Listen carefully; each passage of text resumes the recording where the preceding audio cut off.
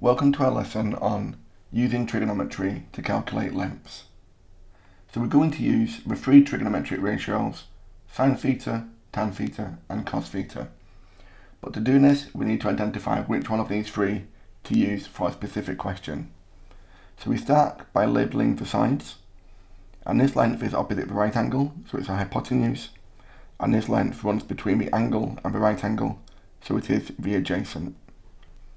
We've been asked to find the opposite and we've been given the hypotenuse. So we're going to use sine. So sine of theta, which is 60 degrees, is equal to the opposite, which we're trying to find, divided by the hypotenuse, which is 5. To make the opposite the subject of this equation, we'll multiply both sides by 5, because the divide and the multiply will cancel. So we have 5 multiplied by the sine of 60 will be the opposite length. And this works out as 4.33 to three significant figures. For our next question, again we need to identify whether to use sine, tan or cos. So we'll label the sides. This side is opposite the angle and the 8 centimetre runs adjacent between the right angle and the given angle and because we've been asked to find the hypotenuse and we've been given the adjacent, we're going to use cos. So the cosine of the angle, which is 60 again, is equal to the adjacent, which is 8, divided by the hypotenuse, which we've been asked to find. To work out the hypotenuse, I'm going to move it to the other side by multiplying both sides by the hypotenuse. So the hypotenuse multiplied by the cos of 60 will equal 8. So the hypotenuse will be 8 divided by cos of 60, which is 16 centimeters.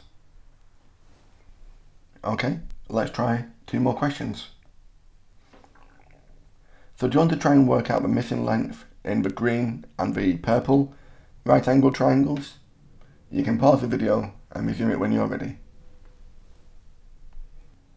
So we've been given the hypotenuse and we've been asked to work out the adjacent. So we're going to use cos. So the cosine of the angle, 50, is equal to the adjacent, which we're trying to find, divided by the hypotenuse, which we have as 5.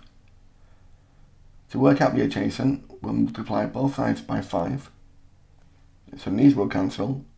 So the adjacent will be 5 cosine 50, which is 3.21 centimeters.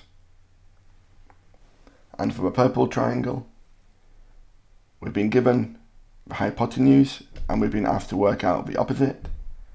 So now we're going to use sine of the angle 37 is equal to the opposite, which is e divided by the hypotenuse of 7.4. We'll move the 7.4 to the other side, so we have 7.4 multiplied by the sine of 37, and this is equal to 4.45 centimetres, again to three significant figures. Okay, thank you for watching and hope you found that useful. Thanks again and take care.